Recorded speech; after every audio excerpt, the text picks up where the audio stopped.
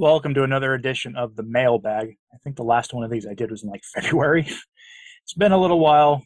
Um, you may have noticed things have gotten kind of hectic in the crisis in the church and covering the news of the church.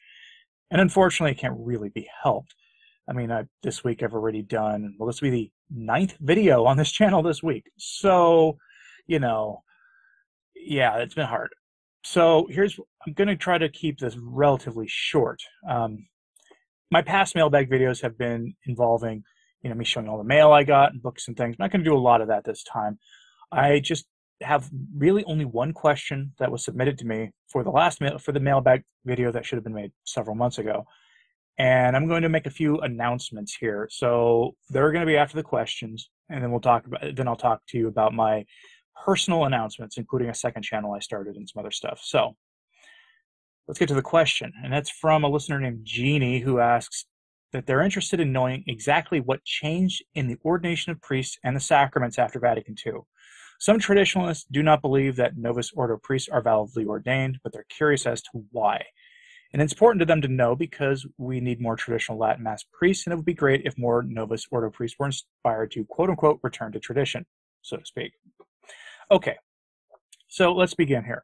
Most traditionalists don't doubt the ordinations of post-conciliar priests. Let's be clear about that. That's most of them don't doubt the ordinations of them. Some do, but they're usually either sedevacantists or associated with the with uh, groups like the SSPX resistance who broke off from the SSPX because they thought the SSPX had gotten too cozy with Rome. Now, the ma- mainline SSPX website itself says that you know actually has a pretty long, detailed you know reasoning behind why they don't deny the ordinations that they only reconfer or re, uh, reordain people like priests who come in from the mainline Novus Ordo Church, and say if they have valid reason to believe that they don't, that their ordination was invalid for some reason. Um, to simply put, the rite of ordination had some minor changes to verbiage. Clearly, the intent is the same when you put them side by side as one group, one article that I'll put in the pinned comment here. If you rem- remind me to put in the pinned comment if I if you don't see it there, okay, in case I forget. But the, the article I'm talking about here, and I'm going to put both the SSPX one and the other the, this one here in the pinned comment. But that article was written by somebody who refers to traditional Catholics as rad trads. So they're not exactly, you know, people who are going to like what I do, what most of us do, what most of us believe, and our assessment of the state of the crisis of the church. But their argument is generally not wrong. When you put the text side by side, the verbiage changes are minimal and when you read them, the translations into English, the intent of the new rite is the same as the pre-conciliar form. However, I do plan to do a individual video, Saturday type video, you know, educational kind of video on how the ordination or how the sacraments were changed after the council, because every single one of them was. And I plan to go through the arguments on both sides of it. It's just, it's an enormous topic. I mean, Father Cekada, uh, the late Father Cekada of uh, the SSPV, wrote what is widely considered the absolute best book on the or the changes to the mass. Right. And it's, I mean, there are people who are not sedevacantists like he was who clearly admit that that book is the best book on the origins of the new mass. And it's enormous. I've recommended it before. Speaking of books, I guess we'll go do the first of the announcements here. The first announcement is that I've had as requested by listeners, I've put together a Crisis in the Church reading list that should also be linked in the pinned comment. It is available on my uh, sources blog at returntotradition.org. It will be literally the first and maybe eventually only post on that blog that I actually bookmark so I can easily find it because it's a work in progress, as these things kind of be.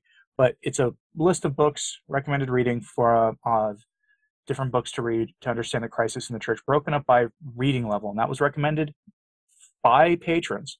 So there's sort of an entry or beginner level, there's an intermediary level, and an advanced level. That way, if you are have you know if you can read the New York Times, fine, you'll be fine with the you know the entry level and some of the immediate the intermediate level stuff. But the advanced stuff, you're getting close to theology, you know. So there's some books you'll see on that list that are to be expected, and others that might surprise you. So check that out if you would please. The Crisis in the Church reading list is something that my patrons have had a- access to for the last month. Um, anyway, so I'll that one question about the ordination was the only question I really got that I could at least find for th- this video that was supposed to be done months ago. So I'm going to give you a couple others I just see frequently in comments.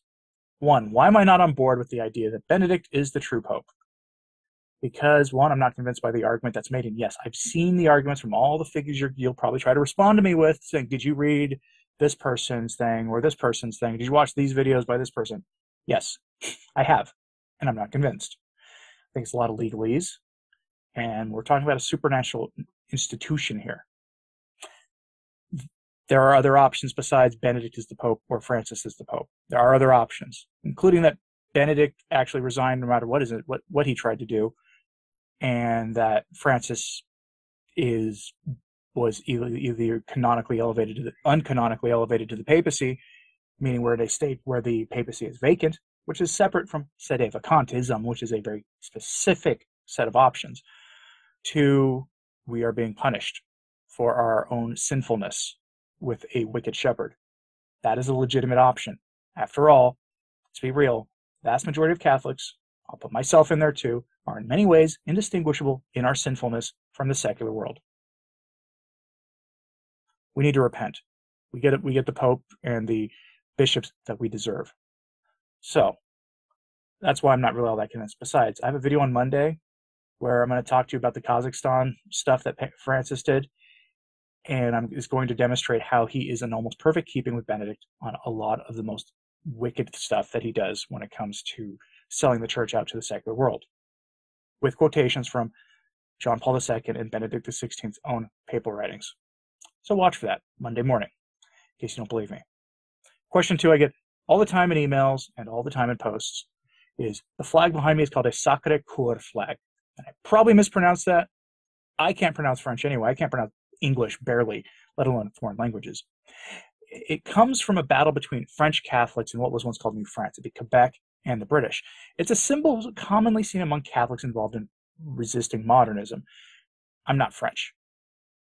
I'm not. I don't have any connection to Quebec. I may have to replace the flag though because some of our secular adversaries call it a symbol of evil wrongthink, you know, the kind of speech that is mean and nasty and has the word hate attached to it. I may eventually go to a cheesy green screen and incorporate that flag with some iconic Irish battle flag from the American War between the states because if you don't know anything about the Irish role, it was brutal, it was it was unjust, and they were amazing warriors in that conflict. Regardless, whatever you think about the conflict overall. They were amazing. Their role in it was amazing. And I may incorporate that with that flag and find some other iconic ones, maybe a Cristero flag or something. I don't know. But for those who want to know where I got it from, the Tumblar House YouTube channel web store. That's where I got mine from. Somebody told me they looked recently and they didn't have one. Check again. Um, that's you know Charles Coulombe and Vincent Franchini's uh, weekly podcast. I watch the show. I'm a patron of them. I like it. Go check out their web store. Buy it from them because I'm not going to put it up. And before I get to the announcements, speaking of merchandise, I do want to know I have been asked by people to offer some channel related merchandise. If I were to do that, wouldn't put up any Belloc merchandise, you know, Hilaire Belloc with the sunglasses. I just wouldn't do that, I don't think. But would anyone actually be interested in that? I it's a lot of work to do, and I'm hesitant because it's tricky to offer things people want without crossing the line of just banking on the crisis in the church. I have a few ideas for things that would be inoffensive, and it's perfectly fine to sell images of our Lord and Our Lady, but I still am hesitant to do that myself. But let me know if you're interested. I got I have some unique ideas, including uh, making shirts based off some of the goofy things Francis has said about us. But there will not be coffee mugs, at least I don't think so. Because right now I'm of the mind that the world doesn't need more YouTuber coffee mugs. But if you disagree and you'd want one, let me know. All right, so the first announcement is small. I'm going to have to change the time I make videos go live recently YouTube changed how they send video recommendations out to people. And my traditional going live in the wee hours of the morning, 2:15 a.m. Central Standard Time, is is just killing me here. It's just not working. I noticed it with as not being a lack of interest from people because most of my metrics were good. It was just that when I would do a second video of the day on a topic that could have easily just waited till the next day and was no more like you know eye-catching headline or title than other things, it nine times out of ten when I've done them over the past few months, they have done orders of magnitude better than the video that day. And so I'm probably gonna have to just instead of letting go live at two fifteen in the morning Central Standard, probably like four or five in the morning.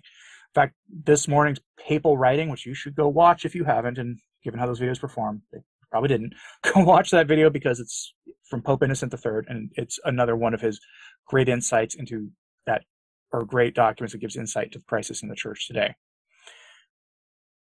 But we'll see how things go with me, uh, you know, changing the, the upload time. So that'll only affect you if you're in Europe or you work a night shift, I think. The second announcement is that I started a second channel about zero carb, carnivore, and ketogenic dieting. It is not a Catholic topic channel, to be clear. It's supposed to be more broadly focused than that. And if you're into that kind of thing or curious about carnivore diets and ketogenic diets and food politics, because when I start, I have a PhD in public policy, and I started that on the idea of talking about the American food system, which was so totally, obviously, so totally broken that I wanted to take it from a sustainable development angle because when I started, I didn't see a problem really with that, except that a lot of people's words didn't match the policies they were promoting. And then I, you know, actually went knee deep or really neck deep into the documents, and that is what changed me. That was part of it. The other part was I was trying to do it from a Catholic angle, and when I read Laudato Si, followed by Pope Francis or Pope uh, Leo XIII's um, Rerum Novarum and other thing and other preconciliar documents, that's when I really saw that there was a problem in the church with how it was interacting with the world. But that other channel is not explicitly a Catholic channel. You know, I talk about you know the attempt to get forced people to eat insects, and uh, you know the push for plant-based diets on people, and tips on how to do a carnivore and keto diet properly from experience. Because one of the reasons I went on camera is since Christmas of 2020, I've lost 150 pounds. So, want to know credentials for talking about nutrition? That's my credential. I'm in the best health I've been in my adult life. So anyway, if you want to know that, that will also be in the pinned comment. Will be a link to that channel. Um, the third and the biggest announcement is my wife is pregnant. We're expecting child number three. She's first trimester. We don't know what we're having beyond that we're having a single child, which is good. For my stress, it's good. Although if there was more than one, we would be overjoyed. So, child number three is on the way. And for that reason, I want to thank the people who, despite the economy being bad, who have stuck around as patrons. It's a everybody on Patreon right now is suffering. It's and it's because everybody in the culture is suffering. Everybody in, in the Western world is suffering because of the boneheaded decisions of our leaders. Trust me, I just paid my power bill. I get it. I don't hold it against anybody who had to drop. Totally understand. But uh, thank you to those who have stuck around. It is greatly appreciated. Um, so for the re- for everyone else, I would appreciate your prayers in this time. Child number three.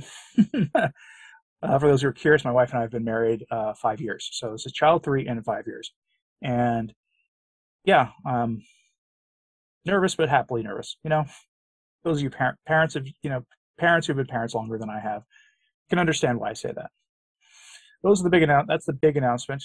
Um, so again, check those articles in the pinned comment if you're interested about the ordinations thing. If you're interested in the uh, carnivore keto channel that I have, it's also in the pinned comment, as is the Crisis in the Church reading list. Anyway, let me know uh, what you thought about all this, and uh, thanks for your support, and thanks for watching today. And as always, pray for the church. I'm Anthony Stine. Ave Maria.